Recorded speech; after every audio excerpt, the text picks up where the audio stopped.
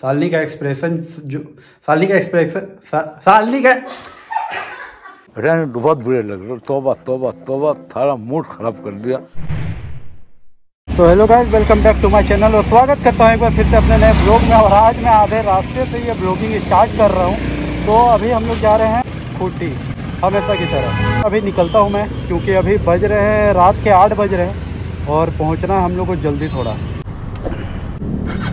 सो अब चलते हैं हम लोग। आज काफ़ी ज़्यादा लेट हो गया ऑफ़िस में। और ये ब्लॉग मैं आधे रास्ते से शूट कर रहा हूँ। लगभग मैं ऑफ़िस से निकल के पाँच छः किलोमीटर आ गया उसके बाद। और मेरा गोप्रो भी चार्ज नहीं। तो जितना भी होगा, जितना देर तक होगा होगा। उसके बाद फिर ऑटोमेटिकली ये तो बंद होना ही है। तो उसके बाद फिर हम लोग सीधा खूटी में ही मिलेंगे।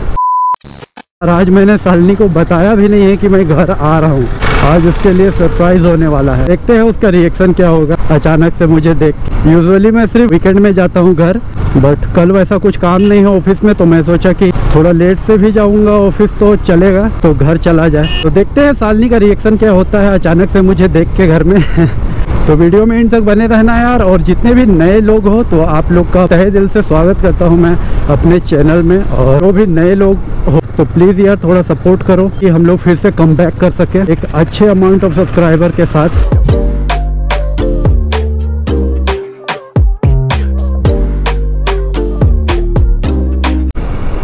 रात में सामने से कोई गाड़ी वाला लाइट मारता है तो यार कुछ दिखता ही नहीं है, इसलिए मैं रात में ड्राइविंग करना अवॉइड करता हूँ बट क्या करें? चलती का नाम गाड़ी और इसी का नाम ज़िंदगी है मेरा भाई। एक्चुअली मैं घर जाने वाला नहीं था, लेकिन अचानक से मन किया कि चलो चलते हैं और सालनी को सरप्राइज़ करते हैं। उसका रिएक्शन नोट करेंगे हम लोग कि क्या रहने वाला है। फ़र्स्ट टाइम ऐसा सरप्राइज़ देने वाला हूँ मैं, बिना बताए उसको जा रहा हूँ मैं घर। और यार भूख बहुत ज़ोर से लगी है, बस खाना मिल जाना चाहिए। और यहाँ से खूटी और 30 किलोमीटर है। बिरसा चौक हम लोग क्रॉस किए अभी।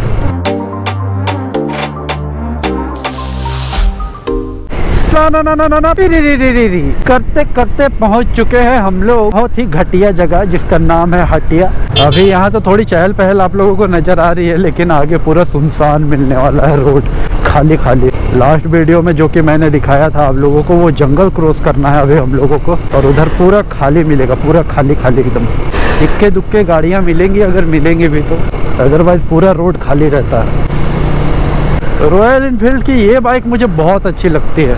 इसका नाम तो मुझे नहीं पता बट ये गाड़ी है ज़बरदस्त। लुक वाइज और राइड तो मैंने कभी किया नहीं है ये वाला गाड़ी। तो इसके राइडिंग पोस्चर और बाकी चीज़ों के बारे में मुझे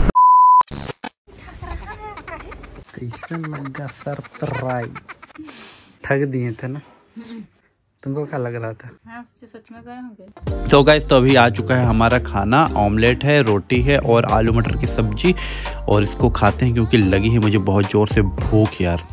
और इस कटोरे में है जला हुआ आलू जो मेरे पापा ने जलाया था खाने के लिए वो आग में सेक के पोड़ाल आलू बोलते हैं इसको तो अभी हम लोग खाते हैं खाना।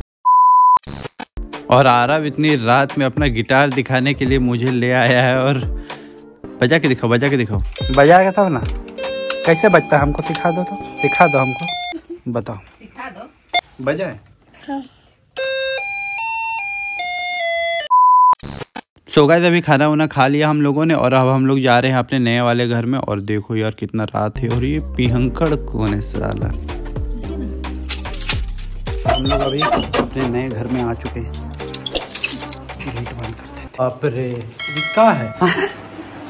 ई पंखा चालू करके छोड़ दिए तभी से। आए भूल गए तभी सोच ना हम सोचे वही कि अचानक से क्या बज रहा है। तो यहाँ मैडम पंखा चालू करके छोड़ दी है। कब आई थी तुम यहाँ? यहाँ से साढ़े पाँच बजे। तो मतलब साढ़े पाँच बजे से पंखा चल रहा है सो चल रहा है। मतलब साढ़े पाँच बजे से तो छोड़ दी है यहाँ पंखा चला के। जिम छूट गया है तो पूरा एकदम कैसा पूरा पतला दिख रहे हैं।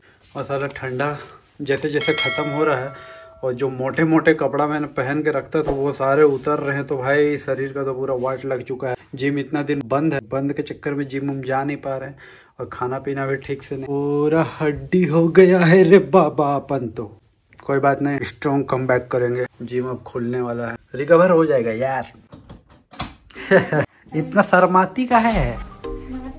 विश्वास ना नहीं इतना रात में कहाँ से मिलेगा फेस वॉश मिलने का तो मिल सकता था अगर गाड़ी कहीं पे रोकते तो लेकिन हम सीधा आ गए कहीं पे रोके ही नहीं गाड़ी इसलिए नहीं ला पाए। और सालनी अचानक से हमको यहाँ पे देख के शर्मा रही है मुँह घुमा ली पीछे। मेकअप धुल रहा है असली रूप सामने आएगा। कुछ मेकअप नहीं पाउडर बस लगाए वेरी गुड लिपस्टिक के चलते हम लोग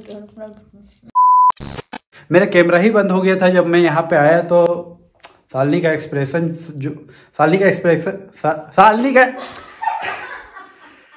बहुत बुरे लग रहे तोबा तोबा तोबा सारा मूड खराब कर दिया।